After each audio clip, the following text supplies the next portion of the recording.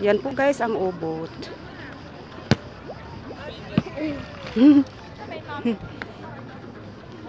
Nahulog.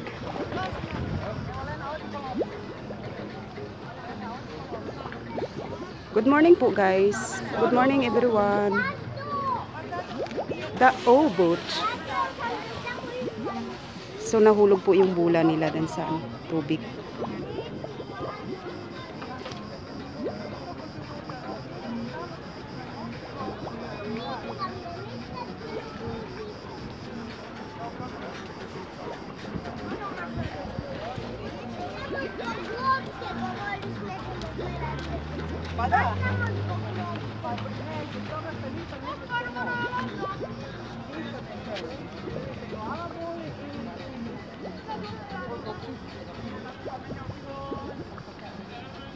Pai, ele mostrou que eu chamo da Buda